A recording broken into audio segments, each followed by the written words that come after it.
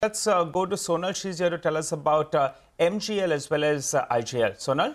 Uh, good morning, Nigel. Well, I'm also tracking GAIL. Let me quickly tell you about that first up because the PNGRB, they issued uh, an unchanged unified tariff order with, its, with the effect from April 1st. It is steady, but they will be revising the tariff uh, from June because there will be new pipelines that will come in play as well.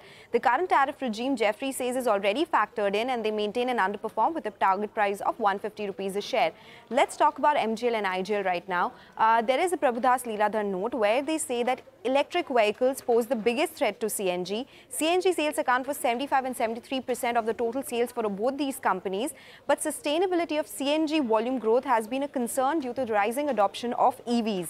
They've downgraded IGL to a whole, uh, from a whole to a reduce uh, with a target price of 382 rupees a share. They've also downgraded MGL to uh, a sell from a whole reduce right now with a target price of 1124 rupees a share. Uh, they are comparing with the China because China's total gas consumption has grown aided by residential and industrial demand, but not so much by CNG demand. The four listed CNG players there, they have seen a degrowth and they expect IGL and MGL to see the same thing and the same fate as well, where volumes will decline because higher penetration of EVs as well.